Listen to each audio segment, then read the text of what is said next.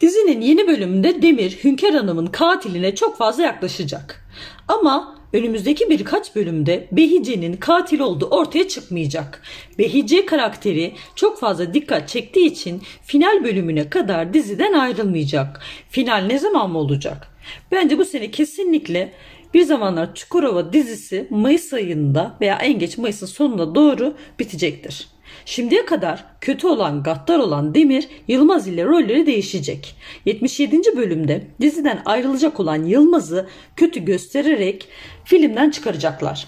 Bu bölümde Yılmaz ile Züleyha yine kaçmaya kalkışıyorlar. Peki ne olacak da bu kaçış yine sekteye uğrayacak? Bana göre ancak Yılmaz'ın ölümüyle Yılmaz karakterinin hikayesini bitirirler. Böyle büyük bir aşkı anlatırlarken keyfiyen sıkıldım diyerek orayı terk edecek değil ya yeni bir hanıma doğuyor. Hiçbir şeye karışmayan, mutsuz, umutsuz şekilde ortalarda dolaşan Züleyha gidecek.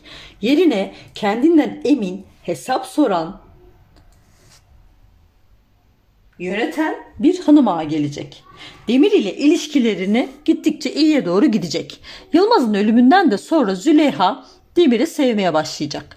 Gafur yine yapacağını yapıyor ve işleri karıştırıyor. Saniyeyi çileden çıkaracak.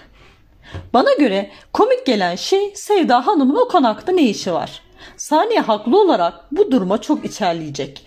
Bu durum Saniye'nin konaktaki hayatının sonuna geldiğini mi gösteriyor? Peki Müjgan'a ne olacak? Yılmaz'ın ölümünden sonra Fekeli de kalp krizi geçirip ölecek. Fikret'in Sevda Hanım'ın oğlu olduğu ortaya çıkacak. Müjgan ve Fikret yakınlaşması olacak. Seyredin gümbürtüyü. Züleyha ile Müjgan elte olacak. Kanalıma abone olmayı ve bildirim zilini açmayı unutmayın. Şimdilik hoşçakalın.